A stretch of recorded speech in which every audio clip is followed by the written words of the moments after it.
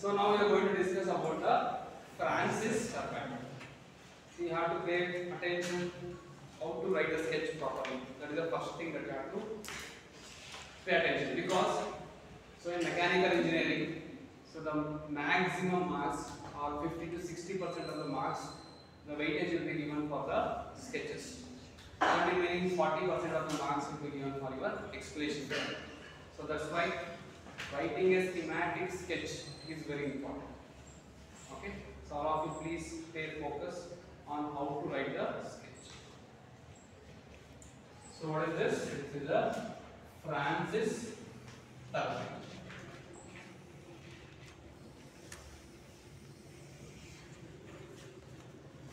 Okay, so this is the outermost casing.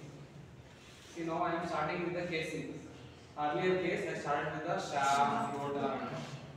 So now I am starting with the casing. Next I am going to write the rotor. Okay, so this is a rotor. At the center we will be having a Okay, so this is the spiral casing. What is this? And here we have a stationary blades also there. So outside this, we have a stationary blades. So these are the stationary blades. Okay.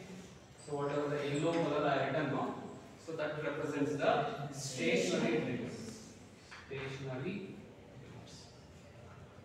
And this rotor is also having the blades.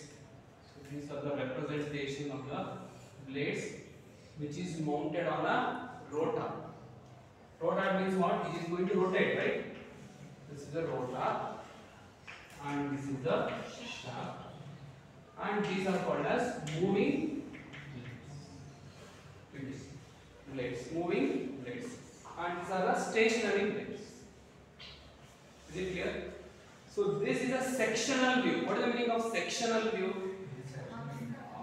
Say to study the internal part of the machine, we are going to take a section. That means we are going to cut the machine at the required position, and we are going to study what actually there it is inside.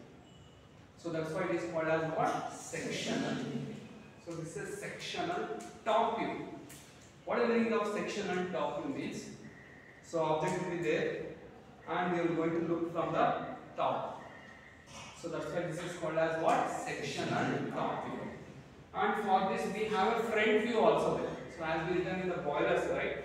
So we written the front view, top view and side view. So here we are going to write the front view and top. So this is the top view. Now how to write the front view? See exactly here. So these are reference line. So this is the cross section of this entry. And here going to write. So this is the cross section of this spiral casing. Spiral casing. See, you have to observe. So this is the entry. The diameter of the circle is large. Yes or no? So here the uh, diameter of the cross section is less. So that means from entry to the exit, the cross section of the casing is decreasing. Are you able to understand?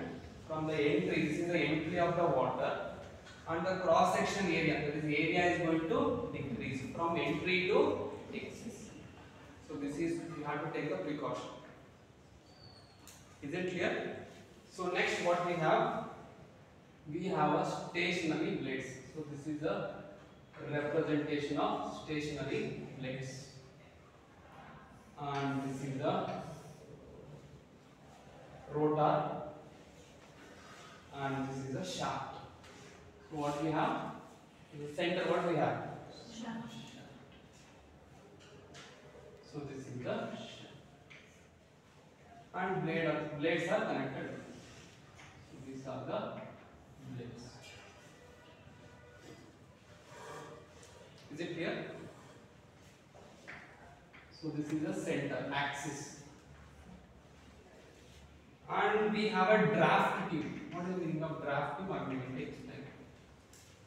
So this is a draft tube. You can't see the dotted line nada? So what are the dotted line I represented? So this is the draft. This is the draft tube. What is this? Shaft.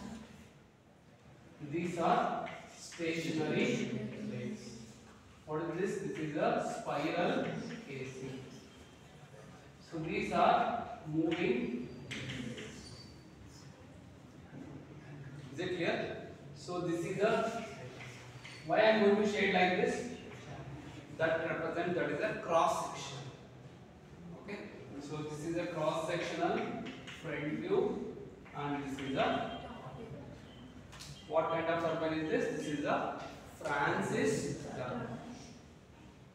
So this is how you have to write the sketch within very few minutes. So if you know the working of it, it will be easy to write the sketch. Is it clear? And now let us come back to the main important statement. Statement. So you have to explain what type of turbine is this. So this is a mixed flow. This is a mixed flow reaction turbine requires medium head. Requires medium head and large quantity of water. I am going to write it. What type of turbine is this? This is a mixed flow reaction. It is a mixed flow reaction turbine requires medium head and large quantity of. So whereas in the case of Pelton wheel, what type of turbine was that? Tangential flow. Impulse, impulse turbine requires high head, less quantity of water. So here it is, it requires high quantity of high head, sorry, medium head, high quantity of or large quantity of, I think large quantity is better word. Large quantity of. This is the very important statement that you have to underline and you are going to get two marks. Is it clear? So next one is construction. It consists of a spiral casing. It consists of what? Spiral casing, where the cross section of the spiral is going to decrease from entry to the exit. Gradually it is going to decrease. And it consists of a stationary blade. Stationary blade which is mounted to the casing. And the shaft and the rotor assembly is mounted on a shaft is placed in the center of the spiral casing as shown in the sketch. That's it. So that is about the construction. So next one is working. So what is the working? Water from penstock. So water which is stored in the penstock, it will be passed to the turbine through a penstock and enters the spiral casing in a radial way. It is going to enter the casing in a spiral way. That is about products. That is the use of spiral casing. The water is going to enter radially.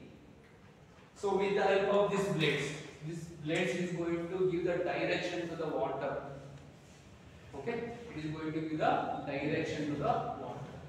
This high jet of water okay this high jet of water or high flow of water enters the rotor enters the rotor and leaves the rotor axially. So this is a turbine. So this is a draft tube where water exits. How the water is exiting? Axially that means it is parallel to the rotation of shaft are you able to understand the water is going to enter radially and it is going to leave the rotor axially. So that's why it is called as what type of turbine? Mixed flow reaction turbine. So due to this, the reactive force will be generated on the blades and hence the rotor is going to rotate and the shaft which is connected is going to rotate. So this is how we are going to convert the potential energy or kinetic energy of the water to mechanical energy. So I am going to repeat once again. Please pay attention. So first you have to write the sketch properly. I started writing with the spiral casing. Then I written the rotor and the shaft and the stationary blades and all. Okay. So here you have to make sure that the cross section area of the spiral casing is going to decrease from entry to the exit. So that you have to show in the front view as well as in the top. So this is a sectional front view and this is a sectional top. The representation must be clear. Okay. So the first important sentence that carries two marks. What kind of turbine is this? So this is a mixed flow reaction turbine. Requires medium and large quantity of water. Two marks. You got two marks. Next one is construction part.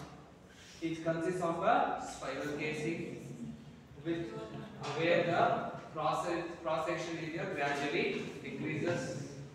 Okay, and also on the uh, stationary blades are mounted to the casing, and the rotor shaft assembly is mounted inside the casing as shown in the sketch. Is it clear? So next one is working.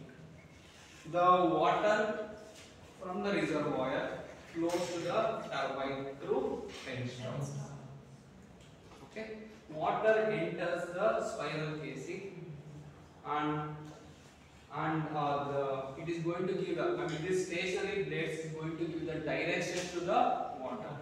Water enters radially. Okay. Water enters radially to the rotor and leaves axially and leaves axially through draft tube. Due to this, it is going to generate the reactive force on the rotor, resulting in rotation of. So this is how we are going to convert the kinetic energy of the water to the mechanical energy. So this is the explanation that we have write for Francis turbine. I hope you understood.